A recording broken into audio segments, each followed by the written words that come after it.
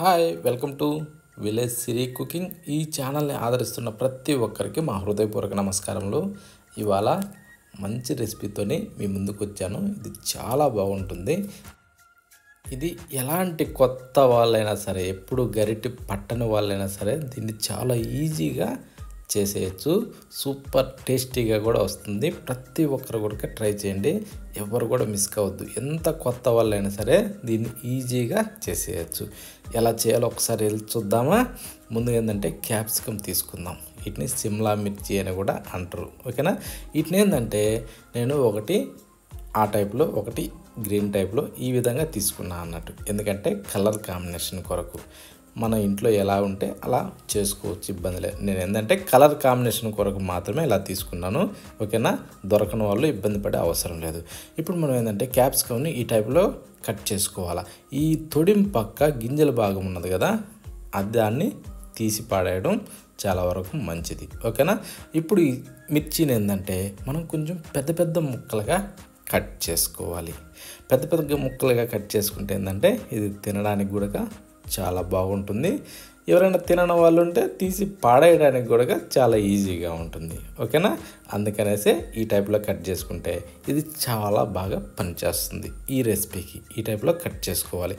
ఇంతింత ముక్కలు. ఓకేనా? ఇప్పుడే పక్కన పెట్టేసుకునేసి ఒక్క రెండు టమోటాలను తీసుకోవాలి? ఆ టమోటాలు కూడా మంచి ఎర్రగా నిగనిగలాడే పండ్లు కావాలి. అయితేనే సూపర్ టేస్ట్ వస్తుంది. ఇటువంటిది ఏదైనా ఒక పిల్లర్ తీసుకోండి. ఇదైనా పర్లేదు వేరే రకం ఉన్నా ఇబ్బంది లేదు. దాని సహాయంతో టమోటాలని ఈ విధంగా బాగా గీకాలి.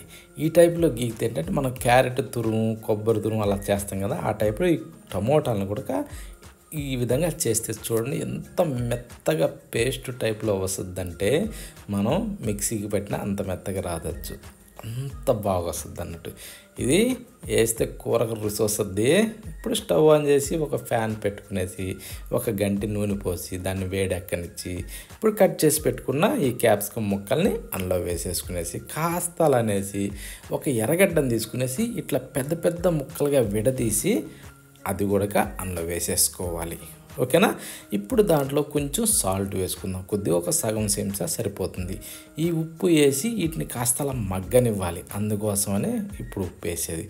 ఈ టైప్లో అంటే సగం ఉడికిన తర్వాత సగం ఉడకాలి పూర్తిగా కాదు సగం ఉడికిన తర్వాత ఇప్పుడు తీసి మనం ఒక ప్లేట్లోకి వేసేసుకుందాం. స్టవ్ ఆఫ్ చేసేసి. ఓకేనా? ఒక ప్లేట్లోకి వేసుకుని పక్కన పెట్టేసుకుందాం. ఇది ఎలాగంటే ఒక ప్రాసెస్ ప్రకారం. ఇది పూర్తిగా చూడండి స్కిప్ చేయకుండా బాగా అర్థమవుతుంది.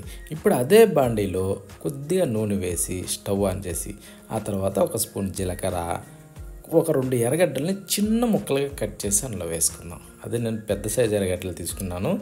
చిన్న అయితే ఒక మూడు తీసుకోండి. కాస్త అలా కలిపి కరివేపాకు వేసేసి ఇది స్ప్రింగ్ ఆనియన్. స్ప్రింగ్ ఆనియన్ ముక్కలను కూడా ఒక రెండు మూడు చెంచాల మందం కట్ చేసి వేసుకోండి. ఎక్కువైనా ఇబ్బంది ఏం లేదు. కొద్దిగా చిటికెడు పసుపు అందులో యాడ్ చేసి ఇది కూడా ఏంటంటే ఈ పసుపు వేస్తే ఈ ఆనియన్ ముక్కలు అనేది ఎర్రగడ్డ ముక్కలు తొందరగా వేగుతాయి అన్నట్టు. అందుకోసం. ఇప్పుడు ఇదేంటిదో తెలుసా? శనగపిండి. ఇది ఒక రెండు స్పూన్లు వేసేసుకున్నాం పచ్చెనగపిండి. ఆ శనగపిండి బజ్జీలు చేసుకుంటాం చూడు అది. దాన్ని కాస్త అనేసి ఇందాక రెడీ చేసి పెట్టుకున్న టమోటా పేస్ట్. ఆ పేస్ట్ను కూడా దీంట్లో వేసి బాగా కలుపుతూ దీన్ని వేగనివ్వాలి కాసేపు. ఇది పచ్చి వాసన పోయేదాకా కాసేపు వేగనివ్వాలి. వేగితే సూపర్ రుచి వస్తుంది. ఇప్పుడు దాంట్లోకి ఒక రెండు మూడు పచ్చిమిరపకాయలు చిన్న ముక్కలుగా కట్ చేసినలో వేసి అల్లం వెల్లుల్లి పేస్ట్ని కచ్చపచ్చగా దంచాలి. అదొక రెండు స్పూన్లు మందం వేసుకుంటే సరిపోతుంది. ఇప్పుడు ఇవన్నీ కూడా పచ్చి వాసన పోయేదాకా కొంచెం బాగా వేగనివ్వాలి. మీడియం ఫ్లేమ్లో పెట్టుకొని సూపర్గా వేగుద్ది. ఇప్పుడు ఒక రెండు స్పూన్లు కారం వేసి ఒక స్పూను ధనియాల పొడి కూడా అందులో వేసి ఒక స్పూను సాల్ట్. ఈ మూడింటిని వేసాక కాస్త అలా కలుపుకోవాలి. ఇప్పుడు కాస్త గట్టిగా అనిపిస్తుంది. కొద్దిగా నీళ్ళు వేసుకుందాం. ఎక్కువ అవసరం లేదు. కొద్దిగా అంటే కొద్దిగా. కొద్దిగా లూజ్ కావటానికి మాత్రమే. ఇప్పుడు కాస్త అలా కలిపి దీన్ని ఆయిల్ మీదకి తేలేదాకా ఒక రెండు మూడు నిమిషాలు ఉడకనివ్వాలి.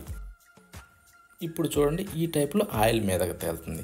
తేలిన తర్వాత ఒక్క కప్పు చిన్న కప్పు పెరుగు వేసుకుందాం. కొంచెం ఎక్కువ తక్కువైనా ఇబ్బంది ఏం లేదు. దానివల్ల ఎలాంటి ప్రాబ్లం లేదు. చిన్న కప్పు మాత్రం నేను పెరుగు వేశాను. దీన్ని కూడా బాగా కలిపి కాసేపు అలా వేగనిచ్చి ఇప్పుడు మనం నీళ్ళు పోసుకుందాం. నేనైతే ఒక గ్లాస్ పోసాను. మీరు ఎక్కువ తక్కువ కావాలన్నా ఇబ్బంది లేదు పోసుకోవచ్చు. అది మనకి సూపు ఎంత అవసరమో దాన్ని బట్టి. ఓకేనా? నేను పోసిన దానికి ఏంటంటే గ్రేవీగా వస్తుంది. సూపుగా మాత్రం రాదు పులుసుగా. ఓకేనా? ఇప్పుడు మూత పెట్టి దీన్ని ఒక మూడు నాలుగు నిమిషాల సేపు బాగా తెరలనివ్వాలి. తెరిలితే ఏంటంటే మనం పోసిన నీళ్ళు సగభాగం ఇనుకుతాయి. ఓకేనా? ఈ టైప్లో ఇనికిన తరువాత ఇప్పుడు మనం ఏం చేద్దామంటే ఇందాక ఫ్రై చేసి పెట్టుకున్న క్యాప్సికమ్ ఎర్రగడ్డ ముక్కల్ని అందులో వేసేసుకుందాం. వేసుకునేసి ఇప్పుడు మనం వీటినన్నిటిని కూడా బాగా కలుపుకోవాలి. ఇది ఏంటంటే ఇలా ఒకటి తర్వాత ఒకటి ఎప్పుడు ఏ టైంలో ఎలా వేయాలన్నది తెలుసుకుంటే ఎంత కొత్త వాళ్ళకైనా సరే చాలా ఈజీ.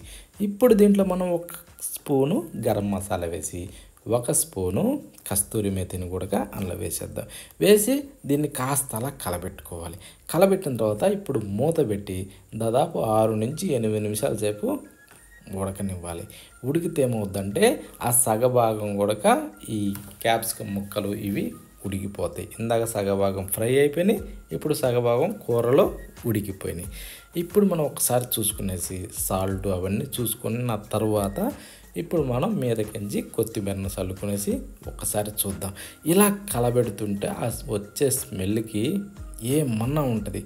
దారిన పోయే వాళ్ళు కూడా ఇవాళ వీళ్ళు ఏం కూర చేశారా ఇంత మంచి వాసన వస్తుంది అని వచ్చి అడగకపోతే అప్పుడు అడగండి. అంత బాగుంటుంది అన్నట్టు ఇది వేడి వేడి అన్నంలోకే కాదు దేంట్లోకైనా సరే చాలా బాగా పనిచేస్తుంది. చపాతీ చేసుకున్న రొట్టె చేసుకున్న దేంట్లోకైనా సరే పర్ఫెక్ట్గా ఉంటుంది. ప్రతి ఒక్కరు కూడా ట్రై చేయండి. ఎంత కొత్త వాళ్ళైనా సరే దీన్ని చాలా ఈజీగా చేసేయచ్చు. ఓకేనా? మళ్ళీ కలుద్దామా? అంతవరకు బాయ్.